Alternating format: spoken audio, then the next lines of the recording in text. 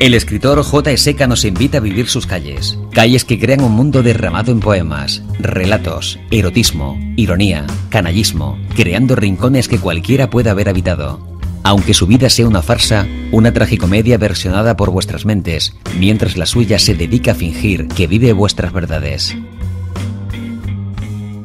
Ya a la venta en editorialcirculorrojo.com.